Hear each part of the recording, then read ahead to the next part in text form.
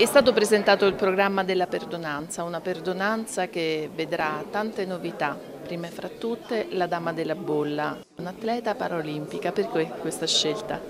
Perché lei è protagonista e testimone nella sua vita di tante volte in cui appunto è caduta e si è rialzata. Ha avuto questo problema con la sua disabilità e da donna forte, determinata e coraggiosa non si è arresa ma addirittura si è messa in gioco, appunto diventando campionessa olimpica e vincendo in tre categorie, in tre specialità diverse. E come lei stessa ha ammesso, eh, le, le successive due specialità in cui ha vinto neanche le aveva mai immaginate nella vita di doverle praticare e io oggi scherzando, siccome ero un po' emozionata, gli ho detto vedrai hai già affrontato tantissime prove nella tua vita, hai raggiunto grandissimi risultati che potrai affrontare anche la quarta disciplina, fare olimpica, fare eh, la dama della bolla. Per la città è un grande onore perché è simbolo proprio di resilienza, appunto come reagire a un qualcosa, a una tragedia che nella vita personale ti tocca e lei Paola è stata bravissima, si è rialzata e da donna forte, determinata e coraggiosa ha preso in mano la sua vita e ne ha fatto diversi successi e questo sarà anche,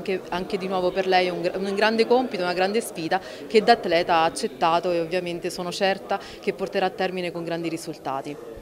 Tanti gli eventi, soprattutto quelli con grandi nomi, ci sarà un protocollo di sicurezza che sarà stabilito insieme alla prefettura, ma ci sarà anche la novità della possibilità in qualche modo di prenotare il posto, soprattutto rivolto a disabili, a persone anziane, persone bisognose di poter godere di uno spettacolo sedute. Come funzionerà? Stiamo approntando appunto un sistema informatico per poter eh, permettere delle prenotazioni online. Eh, ovviamente si sta ancora approntando quindi non possiamo ancora dare i riferimenti, però ecco sarà un modo per in qualche modo certificare anche la presenza fisica del, dell'individuo, quindi la prenotazione avverrà con eh, la certificazione di un documento di identità e, e, quindi ognuno potrà prenotare per se stesso. Saranno diciamo così aiutati e tutelati tutte le persone anche anziane o poco tecnologiche diciamo così, con l'aiuto appunto dell'infopoint e di, di, altri punti negli uffici comunali.